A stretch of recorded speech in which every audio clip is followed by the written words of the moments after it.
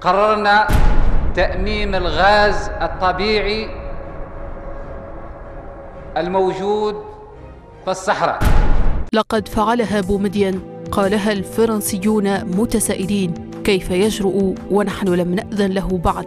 إنه لمكر مكره في المدينة. لكن هؤلاء نسوا أو ربما تناسوا أن البلد ما عادت تحت نير استعمارهم الظالم. وأنها تحاول دون هوادة أن تتخلص من إرثهم على صعوبة المهمة وتعقيداتها. لكن الرابع والعشرين من فيفري 71 رسم طريقا جديدا. إن الجزائر تحاول أن تستقل اقتصاديا. علق العالم حينها. يومها كانت البلد على موعد مع المستقبل في انتظار أن تزف له عروسا بهية.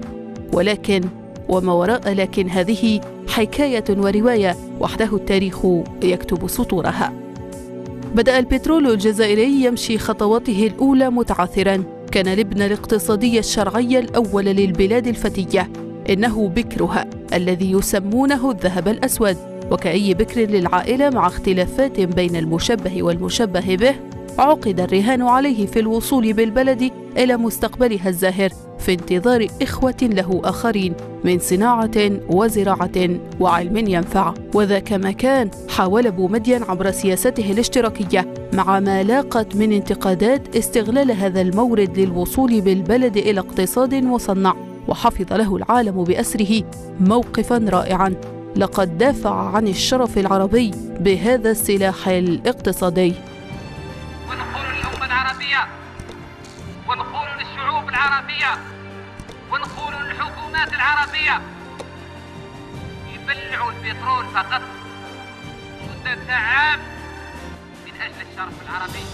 آنذاك قفز السعر بنسبة 130% إلى أن بلغ سعرا حلما بالنسبة لبومدين. تمكن من خلاله مباشرة مشاريعه غير أن القدر لم يمهله لإكمالها. وفي رحلته المضنية بحثا عن الاستقرار والهوية وعن إخوته في عالم الاقتصاد استمر الذهب الأسود في الصعود والنزول خضوعا لموازنات دولية ومن ذلك الثورة الخمينية وحرب الخليج الأولى والتي استطاعت أن تقفز بسعر النفط إلى أسعار حققت أحلام الشاذلي في أن يذيق شعبه الموز والكيوي. لكن الحلم تحول إلى كابوس بعد ذلك. انهارت الأسعار كليا حتى لامست العشرة دولارات للبرميل الواحد. لقد صار الذهب الأسود برخص التراب وما زاد في الطين بلة فضيحة الفساد الأشهر. سوناتراك واحد فيما لا إخوة للبترول يساندونه في محنته. استمر في المكابرة محاولا لملمة نفسه لكن المحنة كانت أكبر منه ولم يستطع أن يقدم للبلد شيئا غير لونه الأسود القاتم في عشر سنوات من الأزمة الأمنية.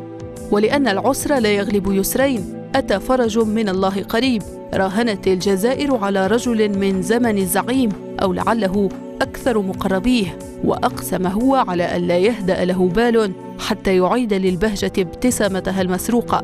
كان الأمل يدق الأبواب وكان الرجل موفور الحظ كذلك.